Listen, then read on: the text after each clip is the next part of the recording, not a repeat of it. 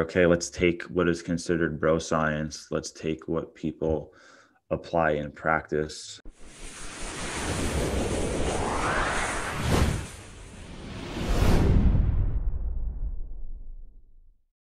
I mistakenly thought that you guys did a uh, a research study on like the, the calf study, but I think you just reviewed okay. it. Is that yeah. accurate?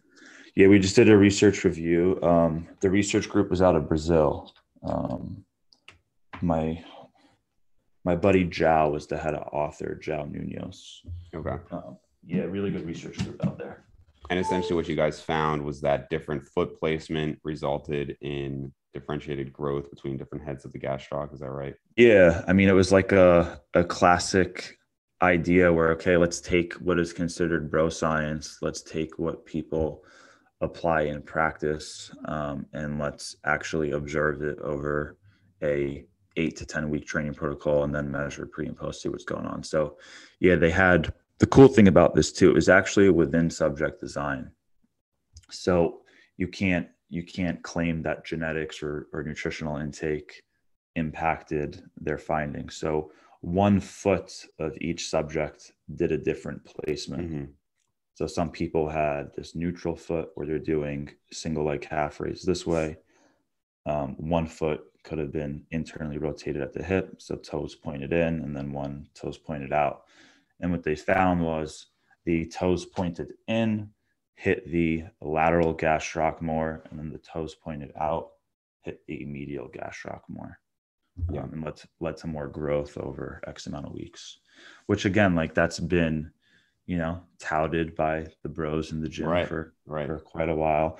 Um, it's cool to see some research that um, points out you can bias different regions of different muscles, and that's why Kassem loves that. You know, those kinds of findings being published. He's really into um, trying to optimize what head of what muscle is doing the majority of the work by mm-hmm. putting your body in, in X X position. Um, by yeah, it's kind of amazing they were able to find those differences in such a relatively short period of time. You know, I mean, yeah. how slow muscle growth is. Yeah, again, it, depending on the subject's population and stuff, but um, yeah, we we see it all the time, man. We see it all the time. I think something like so. I don't know if you know this about me, but I've done a number of these unilateral experiments, and so okay. I have exclusively trained my right calf for the last like two years now, okay. and it's made zero difference at all. My okay. my left and right are the same size. Um, and so you could say like, well, why are you still doing it? I'm like, well, I don't know. Like I'll at some point I'll be able to say, hey, it's been 10 years, like, you know, whatever. Yeah. it doesn't, it's not like it takes more work, right? So um, so that resulted in no difference. Uh, for a while, I was working on a one arm pull up and push up goal. And so just on my left side, because my left side is, is weaker and smaller. So I was like, let me, if I can get it on that side, great. I was doing that for about three months with probably about twice the volume. Um, and I did not find a difference in arm size there either. And then I did an experiment where I added four sets of leg press to my left leg. And that did result in a difference, well, about okay. a half an inch after, I don't know, six months or something like that. Yeah. And what that probably tells me, though, is that I, you know, my belief is there's a sufficient level of volume. And then after that, it's just kind of junk volume, whatever you want to call it. You're not really getting that mm. much.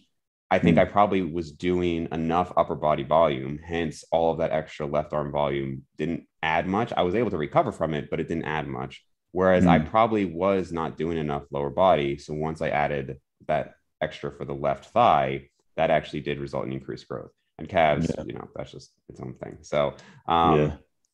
so to me, I mean, one, I just find that interesting. But two, I'm almost surprised that it's not more common in i mean in studies it's somewhat common but not and it's not like every study is like this um, but even among individuals like part of me would even think like okay if, if you're so curious as a population or, or as a person what's better low volume or high volume you could yeah. just do your own experiment and then just train one side of the body one way one side the other way with the two issues being one you're going to have to do everything unilateral and mm. two obviously over that time period there's a systemic component like people might argue you know the overall recovery from high volume and, and that's mm-hmm. going to muddy the waters a little bit mm-hmm. but from a purely just like a muscular standpoint you could try it and then see you know especially if it's like your thighs where it's it's not like the asymmetry is going to be so apparent to people or you know how many people are seeing your thighs. So yeah, know, yeah. just a rambling thought there. Yeah, I don't think a lot of people self experiment at all. No. Um, at, at least in in a fashion to that extent where they're going to do unilateral work right. and expose themselves to a different stimulus here and a different stimulus there. That within subject design is perfect for a research study, but I just don't think people yeah. even want to risk like, oh, what if I develop more asymmetry? Right. Right. Doing that.